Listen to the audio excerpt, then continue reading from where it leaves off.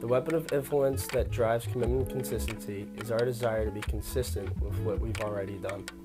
Once we've made a choice in the past, we have personal pressures to behave consistently with the commitment of that certain choice. In our experiment with the Oreos and off label cookies, the majority of you chose the Oreos for many potential reasons.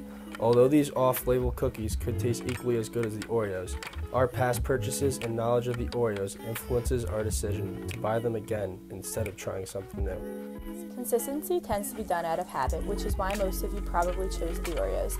It is a shortcut, a way we do not have to think hard about things. In the food store, we automatically go for the Oreos because it is what we know and what we grew up with. This also ties in with commitment and cultural influences. Our culture has made Oreos extremely popular, and we all want to fit into our culture by choosing them.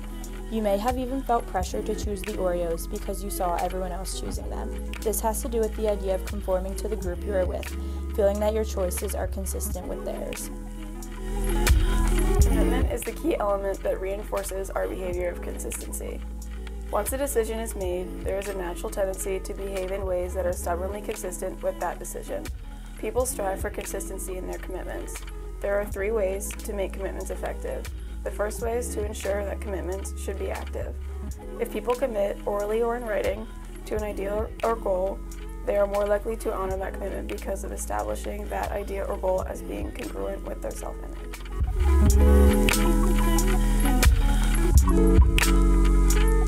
Second way to make a commitment more effective is to make the commitment public.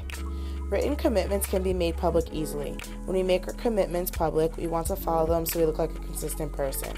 The third way to make a commitment effective is for the commitment to require effort. When you value a commitment more, you must go through a great deal to get to it. For example, if you value your commitment and you're brand loyal to Oreos, you would probably put more effort to buy the Oreos. This could be spending more money in a grocery store on Oreos to simply buying a cheaper generic brand.